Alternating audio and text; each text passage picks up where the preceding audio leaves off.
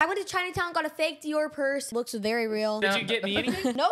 But I got Harrison some stuff. I'm gonna probably give him his Bur basket before this. Whoa, whoa, whoa, whoa. I got Hold a, on, You back can't just Beep, say beep.